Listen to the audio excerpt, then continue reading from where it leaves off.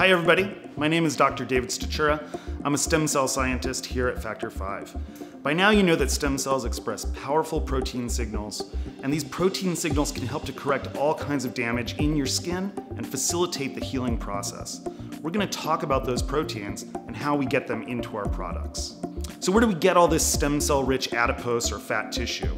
Well, one of the most common plastic surgery procedures in the world is liposuction. And here in sunny California, we have more than enough liposuction happening around us all the time.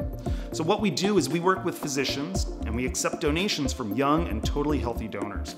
We run each donation through a comprehensive set of tests, ensuring that the cells are free from disease. Fortunately for us, there's enough liposuction procedures so we can be very choosy with the donors that we utilize. So when we get that super healthy fat tissue, we separate out the stem cells. And when we get those stem cells, we carefully grow them in our laboratory. As they grow, we encourage them to express these powerful protein signals through a proprietary process. These protein signals float out from the cell, and we collect them in a fluid which we call conditioned media. So one of the main advantages of doing this in the laboratory is that we have hundreds of millions of cells growing and generating these proteins constantly, all the time.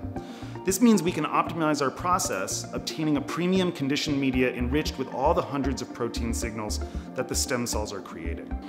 This stem cell conditioned media becomes the first or second ingredient in all of FACTORFIVE's products.